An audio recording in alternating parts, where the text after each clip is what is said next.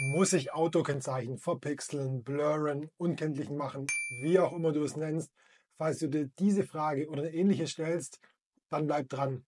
Spoiler, noch geht's nicht vollautomatisch, aber hier wird dir geholfen. Hey, ich bin Jan und ich schneide von Berufswegen schon äh, täglich Videos und da kommt öfter mal die Frage auf, muss ich Kennzeichen verpixeln oder unkenntlich machen? Bei menschlichen Gesichtern ist es klar, aber bei Autokennzeichen, gute Frage falls du Videos in der Öffentlichkeit drehst ähm, und du stehst vor der Kamera oder dahinter oder alleine oder wie auch immer und es kommen fahrende Autos ins Bild oder parkende Autos stehen im Weg, was dann? Grundsätzlich, ich bin allerdings kein Jurist und es gibt immer noch keine eindeutige Rechtsprechung dazu, empfehle ich dir immer fremde Kennzeichen zu verpixeln. So geht's. Ich zeige dir ein konkretes Beispiel anhand von zwei Szenarien mit CapCut.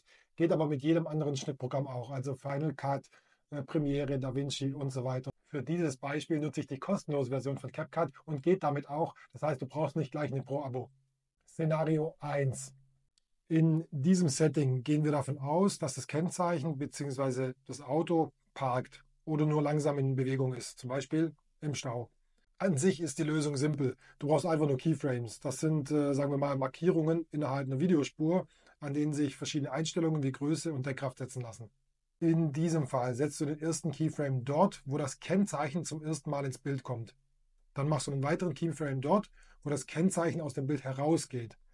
Falls ein, zwei Stellen nicht so passen, dann mach entweder den Balken größer oder du setzt an den Stellen, wo man das Kennzeichen sieht, erneut einen Keyframe und verschiebst deinen Balken.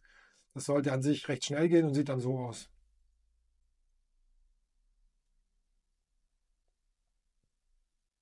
Szenario 2.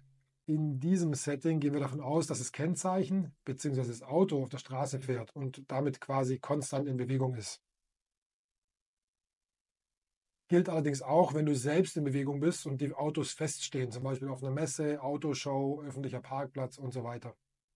Einfach gesagt ist das Vorgehen bei beiden Szenarien gleich. Nur hier bei Szenario 2 eben ein bisschen aufwendiger. So wie eben, vorne Keyframe setzen, dann den Balken darüber schieben oder ein Smiley, ein Emoji oder eine sonstige Grafik oder whatever. Dann hinten den Keyframe setzen und darüber schieben. Aufgrund der Bewegung ist es nun sehr, sehr unwahrscheinlich, dass es gleich sauber vorne bis hinten passt. Siehe hier.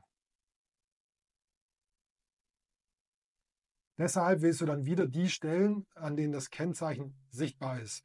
Setzt dort eine Keyframe und verschiebst deinen Balken so, dass es wieder passt.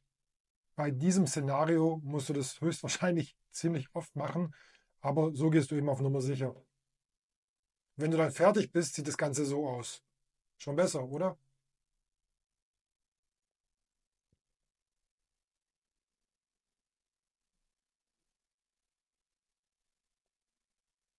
Du siehst also, es ist jetzt kein Hexenwerk, ein Autokennzeichen zu verpixeln oder Nummernschilder zu verbergen oder wie auch immer.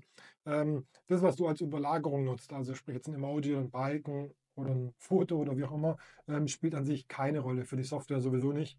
Mit menschlichen Gesichtern geht es übrigens so, beziehungsweise so, du wirst es schon finden. Alles klar soweit? Äh, oder hast du noch Fragen zum Thema Autokennzeichen verpixeln? Dann äh, poste gerne was in die Kommentare oder schreib mir eine Mail. Bis zum nächsten Video.